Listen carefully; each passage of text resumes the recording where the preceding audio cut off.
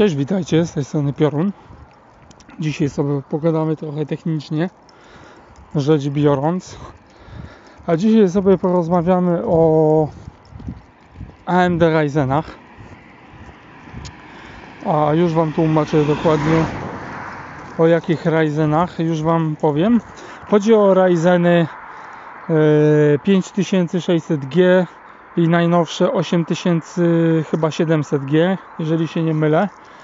A chodzi głównie o to, że 5600G obsługuje PCI 3.0, a 8000 chyba 700G, jeżeli się nie mylę, to mnie poprawcie w komentarzu, obsługuje e, PCI 4.0 czy nawet 5.0. Na pewno też obsługuje.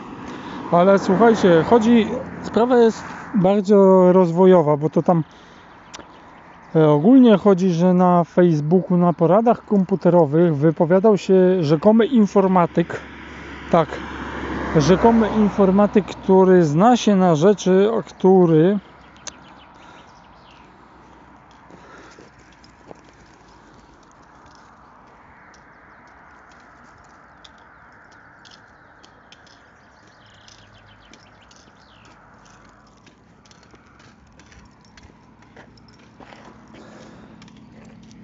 a który niestety, jak to się mówi, robi z siebie istne pośmiewisko. Kurde, ludzie się na mnie jak na debila patrzą, że gadam do telefonu. Ale nie wiedzą też o co chodzi. No i gościu się tam ogólnie podniecał, że on na tym 8700G Ryzenie wyciąga 9, 9 10, 11 tysięcy megabitów na sekundę. Tam miał dysk Samsung coś tam. Już nawet nie wiem, czy tam było 999 Pro, czy co tam od Samsunga nie było. Wiecie, najnowsze to co zapierdziela tam kurde kupa yy, mocy i tak dalej. I on się tym chwalił jak cholera. Powiem Wam szczerze, ale gościu popełnił zasadniczy błąd. Już Wam tłumaczę jaki. No siedział na Windowsie 11. No to Windows 11 sam siebie już ogranicza możliwości komputera. Dlaczego? No bo posłuchajcie, no w Windowsie każdy wie jak kopiuje pliki, że jest najpierw jest hura optymizm, gigantyczny transfer przesyłania, no a potem to zaczyna jakoś spadać. No bo to jest tak powiązane ze sobą, że jeżeli temperatura dysku SSD NVMe wzrośnie za wysoko, to Windows z automatu obniża transfery, żeby schłodzić ten dysk. Nawet jeżeli dysk ma aktywne chłodzenie, nawet jak ma chłodzenie cieczą, nieważne, Windows i tak będzie Wam zbijał transfery.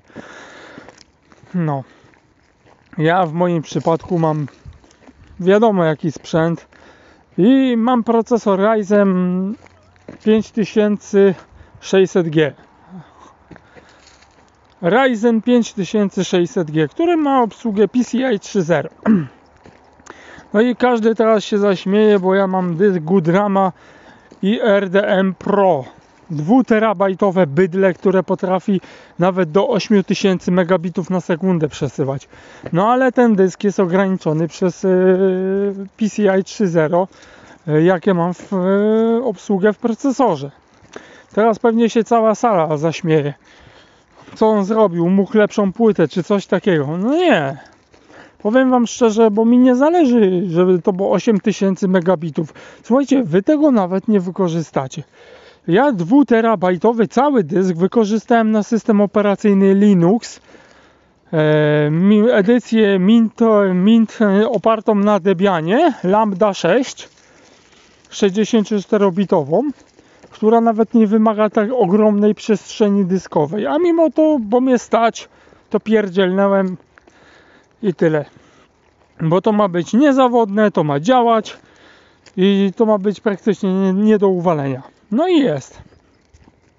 Akurat tu macie na filmie zdjęcie mojej stacji roboczej HPZ600, która działa na Ubuntu 23.10 i na dysku SSD zwykłym, który ma 550 mega odczytu i 540 zapisu i wystarczy i to działa I mam na kanale filmy, które pokazują proste testy wydajności, że to działa, to zasuwa. Mamy tam na pokładzie dwa procesory, każdy po 6 rdzeni, 12 wątków. Do tego 50 giga RAMu, 3,80 terabajta dysków. No i nagrywarkę DVD, jak widzicie na zdjęciu, Blue Touch.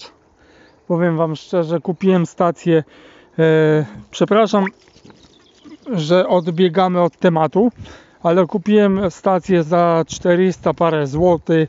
Dorzuciłem do niej ten procesor za 31 dodatkowych, chłodzenie za 110, dysk na system za 200, kolejne dwa dyski, z czego jeden kosztował 200, drugi odzyskany z serwera, no więc dużo nie poszło. No i jedną kartę graficzną, która kosztowała 160, no bo drugą miałem. No i dużo nie wyszło, a mam niezłą maszynkę do mielenia wszystkiego. Jakbym chciał postawić koparkę do kryptowalut, to też by nie było problemu. Ok, koniec tego tematu. No i co jest grane? No i powiem Wam tak, niby ten mój dysk na system w moim komputerze z Ryzenem 5600G jest ograniczony, ale powiem Wam szczerze, lepiej, powiem Wam tak, lepiej czasem mieć ograniczony dysk, to on się mniej będzie zużywał, bo nie będzie wykorzystywał pełnej prędkości, a poza tym tak naprawdę Wy nigdy nie wykorzystacie pełnej prędkości dysku. Nigdy. Oj tam wiadomo, że kopiowanie czy tam rendering, to tak, to i tak. Ale tak naprawdę nawet podczas grania w Cyberpunka czy, czy, czy tam w tą porąbaną grę, co się nazywa jakoś tam hmm, kurde, już nie pamiętam jak ta gra się nazywała, co tak ją wszyscy klną hmm, hmm, hmm. Starfield, o właśnie to nawet podczas grania w Starfielda powiem Wam szczerze, że nie wykorzystacie nawet pełnego transferu, no bo gra będzie sobie dogrywała tam co potrzebuje i zapisywała w tym samym momencie. Ale to po prostu jest dla mnie beka po prostu, że niektórzy się cwaniaczą, chwalą się, że on ma 15 tysięcy megabitów na sekundę. Ale czego ty masz? Przecież system operacyjny ci nie będzie zapierdalał z pełną prędkością tego dysku. Zresztą mam prosty przykład, bo bratu dałem dyskiem VME, który ma 3200 MB na sekundę.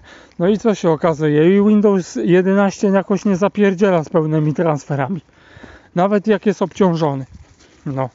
Bo żaden system, nawet Ubuntu Wam nie wykorzysta pełnej e, mocy. Jeżeli nie potrzebuje. A Windows to już w ogóle jest katastrofa sama w sobie, bo słuchajcie, za chwilę do Windowsa 10 wejdą płatne aktualizacje i wiele ludzi powywala swoje komputery na elektrośmieci tylko po to, żeby kupić kolejne komputery, które obsłużą Windows 12, co będzie największym debilizmem, jaki chyba ja będę widział w życiu. Powiem Wam szczerze, moi mili, niech Windows będzie płatny, to zapraszam Was wszystkich do mojego świata na system operacyjny GNU Linux. Linux nikogo nie e, odrzuca, każdego przyjmuje. Każdy komputer na Linuxie jest jednym komputerem ocalonym od elektrośmieci. Ja jestem na tym, na tym przykładem. E, ja wszystkie swoje komputery postawiłem na systemach operacyjnych Linux Mint, e, co tam jeszcze? Endeavor OS, który to tam jeszcze Ubuntu 2310, Mint Debian Edition, Mint 32-bitowy, więc powiem Wam, nie żałuję. A powiem Wam tak naprawdę, że jak widzę ludzi, którzy oczerniają system Linux, że to to kurwa jest, dlaczego to kurwa jest, a idźcie w tym cholerę. A potem jak przyjdzie to do czego, to sam będzie szukał porady. Ty słuchajcie, doradźcie mi jakiś system Linux na początek. To jest właśnie bajka. Ja od siebie na początek dla każdego mogę polecić Mint Debian Edition Lambda 6, bo jest najlepszy i powiem tak, że nawet Steam od strzała chodzi. A propos Steama, to będzie odcinek oddzielny, jak naprawić pewien problem w systemie. Bo to jest bardzo ciekawe, że wychwyciłem problem ze Steamem i nawet go naprawiłem samemu. No. Ale wracając do tematu, ja czasem nie rozumiem, czego się ludzie tak podniecają tymi transferami. Przecież y, fizyki nie przeskoczycie. Dwa. E, system operacyjny, jeżeli nie musi, to i tak Wam nawet nie wykorzysta połowy możliwości tego dysku. Podczas uruchomienia tam może 10% wydajności to on wykorzysta. Ale nie więcej. Jeżeli nie jest potrzebne, to system nie będzie wykorzystywał. Takie dyski, które mają 11, 20 ty... Chciałem 12 tysięcy, czy tam 20 tysięcy megabitów na sekundę przepustowości, e, odczyt zapis, to się stosuje do grania albo do renderingu. A jak stawiasz na tym system, to bądź pewny, że system ci tego nawet w połowie nie wykorzysta tej prędkości, bo po prostu jest mu to niepotrzebne. Ale ja czegoś nie pojmuję. No, chwalenie się czymś takim, bo on ma tyle 18 e, tysięcy megabitów na sekundę i co, jestem Space On i co, i co, mordy.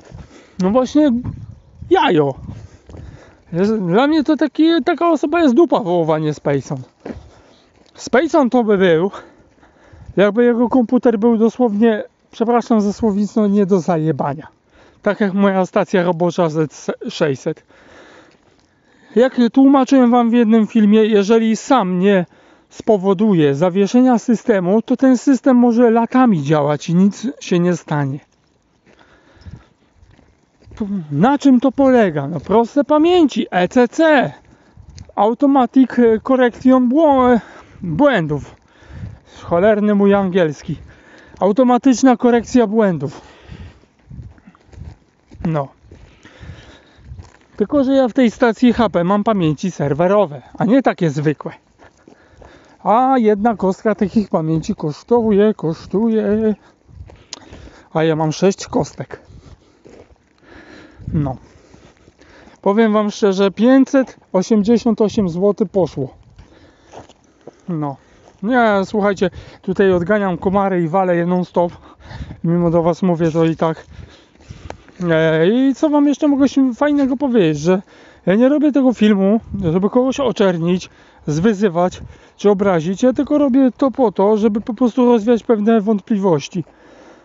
Że jeżeli dysk nie. dysk, jeżeli system operacyjny nie musi, nie musi potrzebować korzystać z pełnej prędkości, no to i tak nie będzie tego wyciągał pełnej mocy takiego dysku, który ma 8000 megabitów na sekundę, jak w moim przypadku IRDM od Goodrama Pro.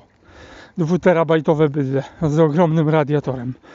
No, na, na, swoim przykładzie będę Wam teraz mówił. No, jeżeli nie ma potrzeba, to po prostu ten system Lambda nie wykorzystuje nawet połowy tej mocy. No bo po co? Posłuchajcie, im większy przesył w danym momencie, tym szybciej się dysk nagrzewa, bo kontroler musi tego dysku obrobić więcej danych. A im bardziej dysk zasuwa, tym większe temperatury są na nim. Więc po prostu z logicznego punktu widzenia system sam decyduje, w którym momencie potrzebuje ogromnej mocy przepustowości. Tak samo chodzi o Windowsa 11. Tfu. Kij mu w oko. Dla mnie po prostu Windows to jest katastrofa ekologiczna sama w sobie. Dlaczego? Posłuchajcie, te wszystkie e, nie to nie są aplikacje, tylko usługi, diagnostyka, przesyłanie danych zgromadzonych, coś tam, coś tam, Defender. W sumie Defender to jeszcze nie jest taki zły, gdyby pewne rzeczy jeszcze z niego wykopać, to byłoby dobrze. Ale ogólnie same te usługi, yy, tam nie wiem, czegoś tam. W Windowsie macie tego, weźcie sobie menu Start. Tu, jakie menu Start na pasku zadań kliknijcie właściwości menadżer zadań, procesy. Zobaczcie ile zaraz po uruchomieniu macie procesów. Prosty przykład. E, powyłączajcie wszystko co zbędne. E, sobie nie wiem, Steama wyłączcie, gadu gadu, e, Skype'a, Stripe'a, Facebooki i różne oszołomowe aplikacje i zobaczcie ile wam procesów zapierdziela. 60% tych procesów to są procesy Microsoftu. Co tu można zrobić? No co może? Nic nie zrobić, bo jeżeli zaczniecie to wyłączać, to uwalicie system. Ja u siebie jeszcze kiedyś, jak miałem Windowsa 10, to wyłączyłem na próbę Windows Defender. Wiecie co się stało? System się wyje... Przepraszam za słownictwo. Dosłownie w 10 minut. Co można było zrobić? No co? Postawić cały system od zera. Chciałem sprawdzić, czy jak wyłączę e, Windows Defendera, czy to będzie miało jakiś logiczny skutek, że będzie szybciej to zapierdzielało. No to zrobiłem inny myk. Zwiększyłem pamięć wirtualną e, Windowsowi 10 do ponad 28 GB. Dało to dużo. Dało to dużo, ale żeby to działało, musiałem zwiększyć pamięć RAM w komputerze do 32 GB. Dało to dużo, dało to dużo. Gry szybciej chodziły, gry szybciej chodziły. No i co dalej? Ale mnie to i tak było za mało. Aż poczytałem któregoś dnia o Linuxie, że no i mówię, kurde, to może być to. I powiem wam szczerze, to był strzał dziesiątkę. A najlepszy, najlepszy system jaki y, powiem wam szczerze mam obecnie to jest Lambda 6. Mint Cinnamon edycja debianowa Lambda 6. Wykorzystuję full mocy komputera. Pozdrawiam serdecznie, Piorun Burza Elektryk, naczelny inżynier tej miejscowości.